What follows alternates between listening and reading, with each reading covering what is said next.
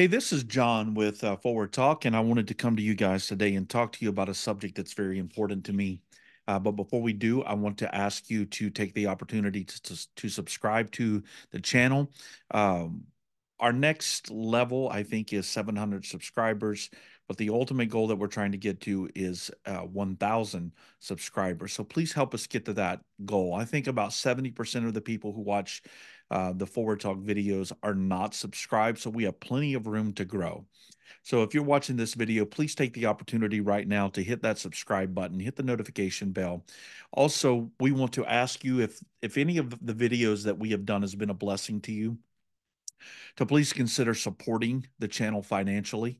Uh, we do a lot of work uh, here, uh, church planting, um, just a lot of areas. And so, if this has been a blessing to you in any way, please consider supporting the channel financially. There will be opportunities uh, in the show notes, links for ways that you can give. Also, if you want to uh, support the channel in another way, you can do so by purchasing books that we have written. Um, one of the books that I wrote a number of years ago uh, was Are You a Christian? Uh, Redefining Apostolic. This is a book on Christian liberty.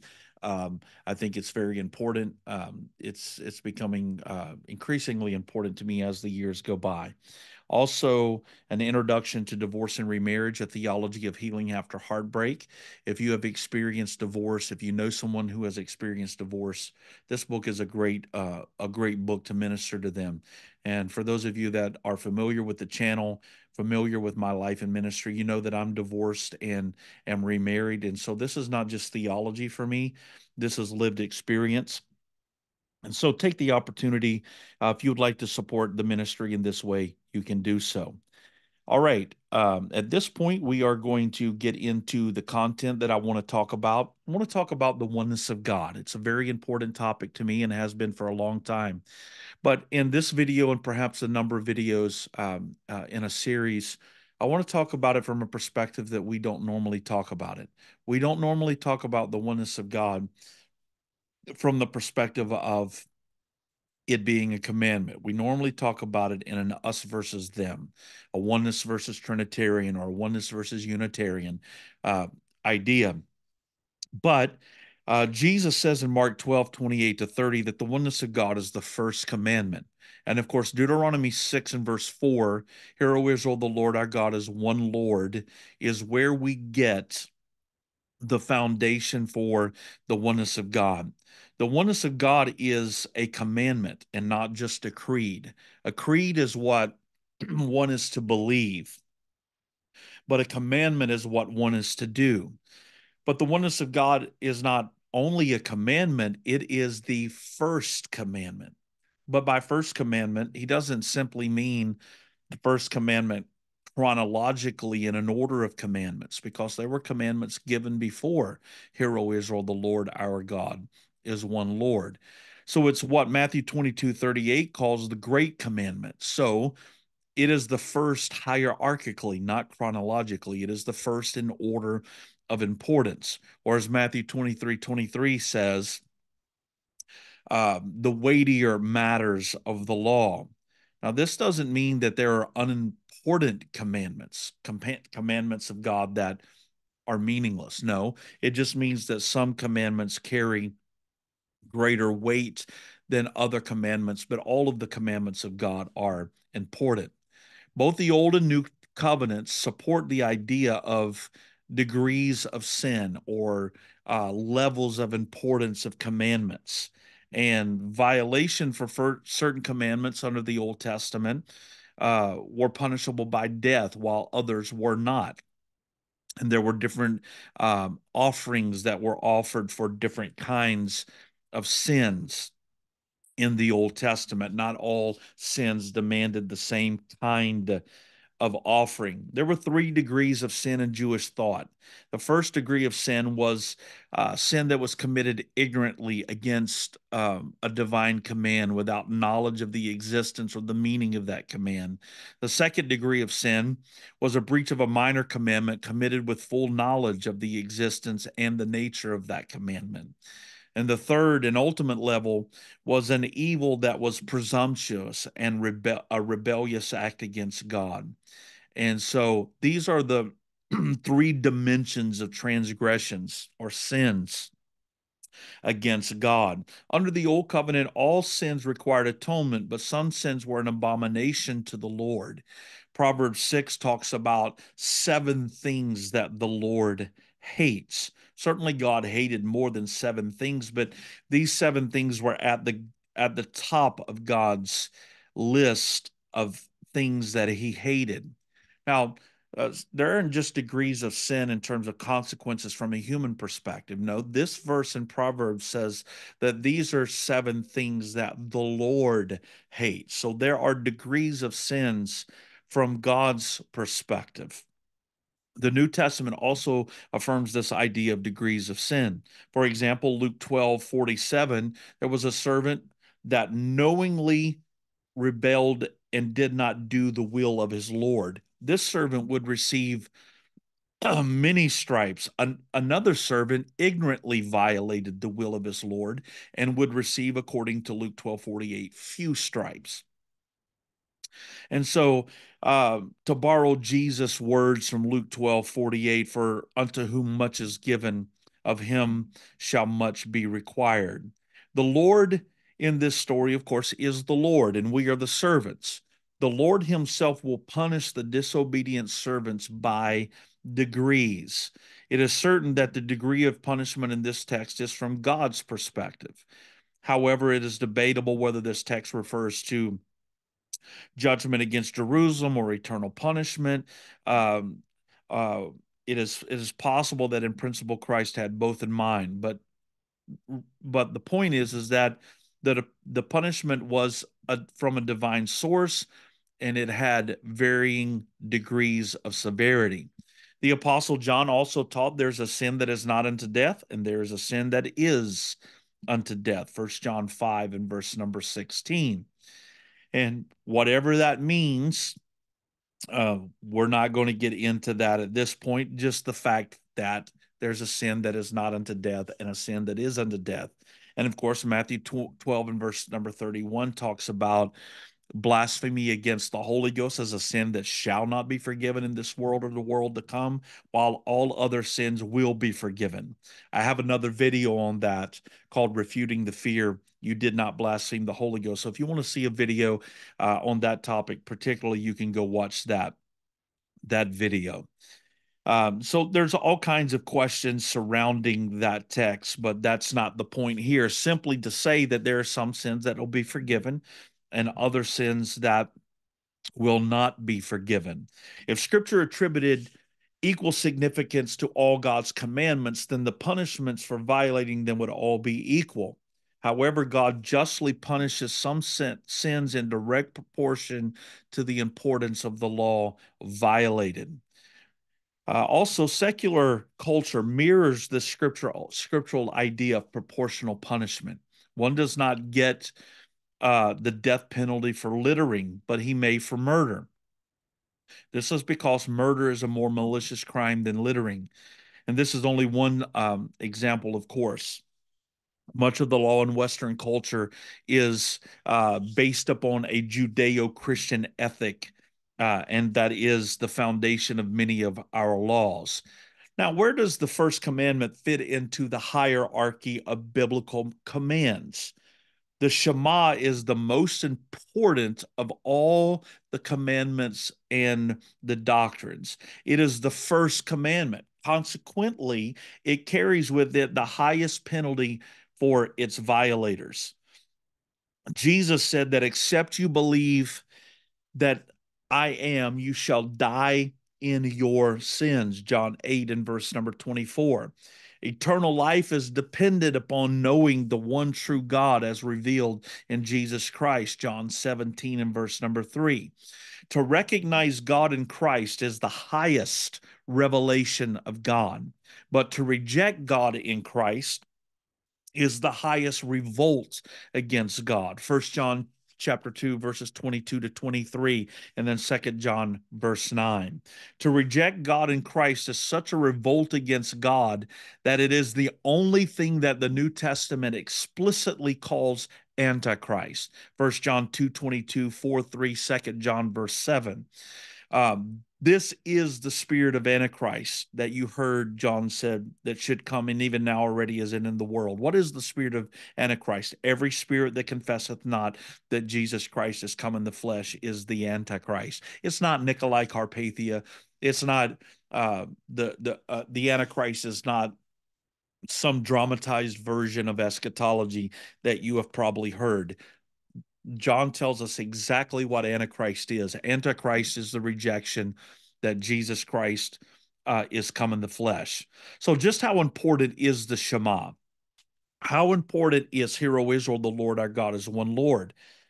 It is called the first commandment, brothers and sisters, because it is the first commandment. It is the first commandment. And because there is a first commandment, there is a second commandment. Matthew or Mark 12 31 says, The second commandment is like, namely unto the first commandment, and that is, Thou shalt love the, thy neighbor as thyself. And there is no other commandments that are greater than these.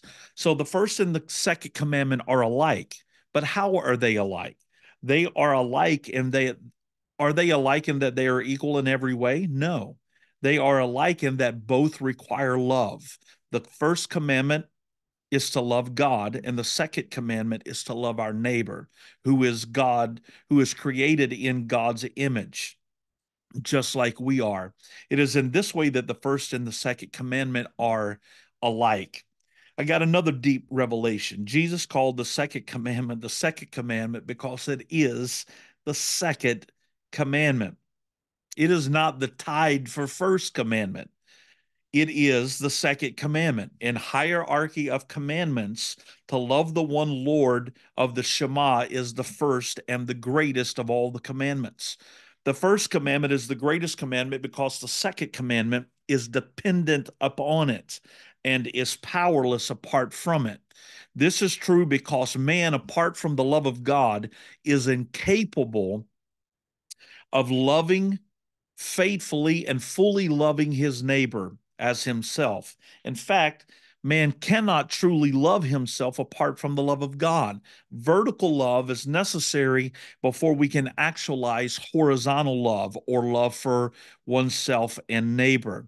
Therefore, the first and the second commandment are interrelated and interdependent, but they are not co equal in every way. Notice what Jesus said to a tempting Pharisee in Matthew 27 or 22 verses 37 to 40. Jesus said unto him, Thou shalt love the Lord thy God with all thy heart, with all thy soul, with all thy might or mind. This is the first and great commandment. First and great commandment. And the second is like unto it, thou shalt love thy neighbor as thyself. On these two commandments hang all the law and the prophet prophets. According to Jesus, all the law and the prophets hang on the first and the second commandments. Imagine that you have fastened two screws representing the one representing the first commandment, another representing the second commandment. And imagine also that the weight of all the rest of the law and the prophets were hanging on those two screws, the first commandment and the second commandment, as like chains on um, a port swing hanging from hooks above. Hypothetically, what would happen if the second commandment came unfastened? The entire weight of the law and the prophets would then hang on the first commandment. And the first commandment would be strong enough to hold the law and the prophets until one could refasten the second commandment. But hypothetically, what do you think would happen if somehow the first commandment was unfastened and the entire weight of the law and the prophets were cut to come and hang on the second commandment. The second commandment would immediately bend and quickly break under the weight of the law and the prophets. This means that we cannot love our neighbor as we ought to if we do not love the one Lord of the first commandment. We can only love our neighbor selfishly apart we cannot love our neighbor selfishly apart from the selfless love of the one lord of the shema yet if we love the one lord of the first commandment we will come to love our neighbor as ourselves. This is why they are the first and the second commandment, respectively. Therefore, the Shema is the foundational doctrine of Scripture. The other doctrines of Scripture do not matter if the Shema is untrue. The truth of every other doctrine of Scripture depends on the truth of the Shema. The Shema is the fountainhead and bedrock of all doctrine and theology. The scriptures themselves depend upon the Shema, 2 Timothy 3, verses 16 to 17. Justification depends on the Shema, Romans 3 and verse number 30. Sanctification depends on the Shema. And these are just three examples that we could uh, that we are using, and we can multiply those examples. Firstly, let's discuss how the scriptures themselves depend on the truthfulness of the Shema and the accuracy and the authority of the, the scriptures that necessarily depend on the existence and oneness of God. 2 Timothy 3:16 All scripture is breathed out by God and is profitable for teaching, for reproof and for correction and for training in righteousness. The truthfulness of Scripture depends on God's existence. The Scripture depends on God's existence because they claim of themselves that they are God breathed, thea pneustos. If God does not exist, then logically and necessarily the Scriptures would not exist and they would be untrue. The truth of Scripture, Old and New Testaments, alike also depend on the oneness of God and not merely his existence. Ultimately, the oneness of God is the only defense that we have against other religions and their holy books. If the Shema is untrue, then other gods exist. And if other gods exist, then we must give equal credence to those gods, their religions, and their creeds. The reason I reject the Quran as a source of divine authority is and revelation is because I reject Allah as God. The reason I reject Allah as God is because I believe in Yahweh and his personal revelation in and as Jesus Christ as the only true God. First John 5 and verse number 20. Secondly, let's just discuss briefly how the ju- doctrine of justification depends on the Shema. Justification is God's judicial je- declaration of a person being just in and through faith in Christ. If the Shema is untrue, then we must ask the question justified before whom and by whom? If the Shema is un- untrue and other gods exist, then justification becomes a matter of multiple choice where there are no wrong answers. One becomes his or her own God if justification is merely a matter of choosing which God's terms for justification he or she will accept. Consequently, if the Shema is true, then one must humbly bow before the one true God and seek his grace and mercy. And I will discuss the relationship between justification and the oneness of God more later. Thirdly and lastly, the doctrine of justification depends on the Shema in much the same way that justification does. The if the Shema is untrue and there's more than one God, then we must ask, to, ask sanctified unto whom and by whom. Sanctification and the oneness of God find their roots in the Old Testament. God revealed himself to Israel as a jealous God based on the Shema. Exodus 34 14, for thou shalt worship no other God. For the Lord, whose name is jealous, is a jealous God. The one true God commanded his people to worship no other God. He and he alone was God, and therefore had sanctified his people unto himself alone.